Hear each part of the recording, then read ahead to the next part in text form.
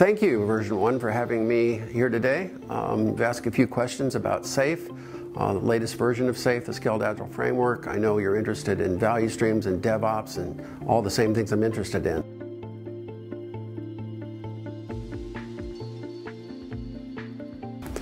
One of the key elements of SAFe that's grown into it in the next couple of releases, particularly version 4, is the concept of a value stream. And a value stream is not really a new thing. It's not something we invented. Uh, it comes from lean thinking. It helps create an understanding of how value flows in the organization. So a value stream uh, is a series of steps that an enterprise uses to accomplish something. Uh, in our world, that's typically to create a feature or to have a feature as an input, uh, to you know run it through the system, develop the code for the system, uh, test that code, deploy that code, and, and deliver that feature to the end user. So it's kind of concept to cash in the larger view and the series of steps in the middle. And it's just simply a way of thinking about the way value flows in the organization.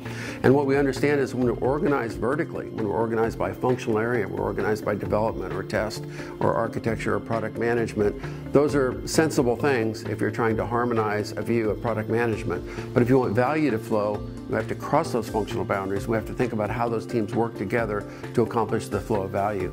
So the value stream is a fundamental organizing construct in Lean. It's the way you can analyze any enterprise, uh, any operation. We use it primarily to help development value streams, which is what, what our IT and developers do uh, to create value for the enterprise.